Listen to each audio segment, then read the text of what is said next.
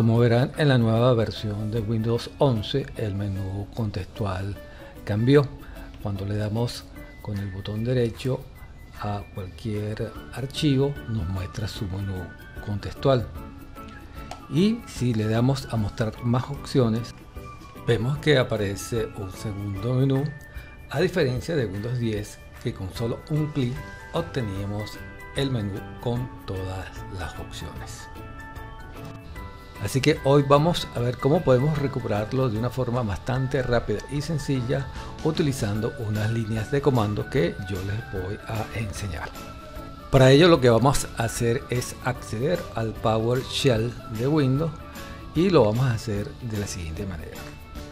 Vamos a colocarnos en el menú inicio, pulsamos botón derecho y vamos a acceder a la opción terminal de Windows se abre una ventana emergente, pulsan sí y posteriormente se abre la ventana de PowerShell de Windows.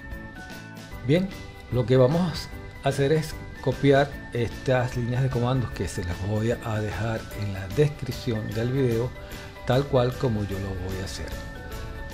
Seleccionamos hasta donde dice Force. Copiamos nos vamos a PowerShell y pegamos y pulsamos Enter.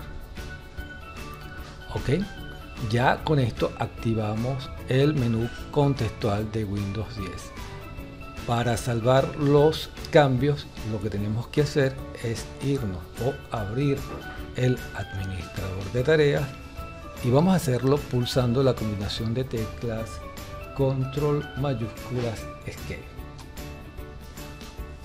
abre el administrador de tareas y vamos a buscar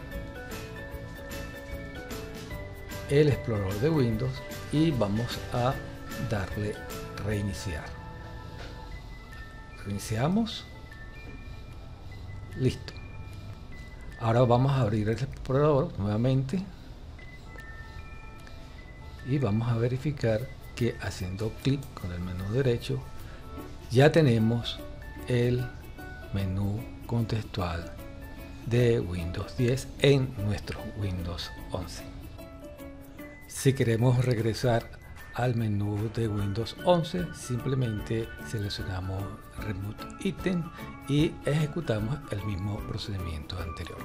Bueno amigos, espero que este video les sea de utilidad y no olviden suscribirse al canal para apoyarlo. Hasta un nuevo video.